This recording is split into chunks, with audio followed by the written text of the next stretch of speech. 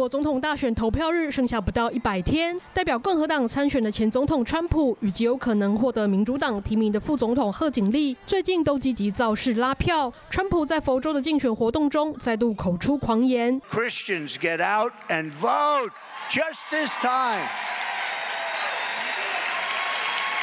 You won't have to do it anymore. Four more years. You know what? It'll be fixed. It'll be fine.”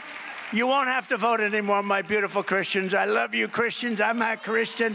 I love you. Get out. You got to get out and vote.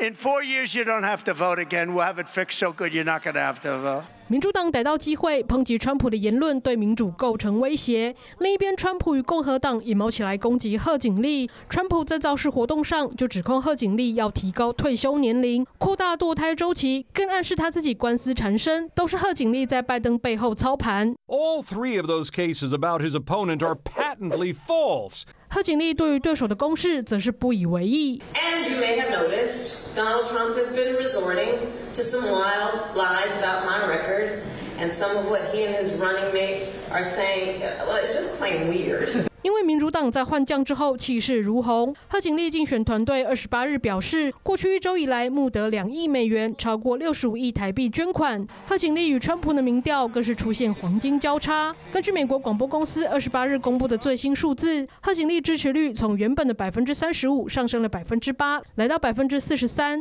川普则从百分之四十下降到百分之三十六。Now, so many different polls are showing that Vice President Harris is doing much better than President Biden. She is showing gains among younger voters and voters of color. 为了吸引更多年轻选票，川普与贺锦丽都在美国年轻人爱用的影音平台 TikTok 开设账号。Madam Vice President, are you on TikTok?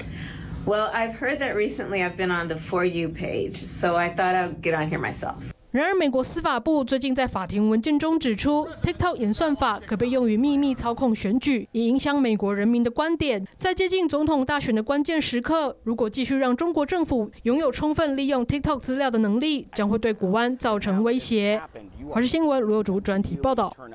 嗨，大家好，我是颖彤。想要来抢先掌握最及时的新闻资讯吗？赶快订阅、按赞、开启小铃铛，锁定华视新闻的 YouTube 频道。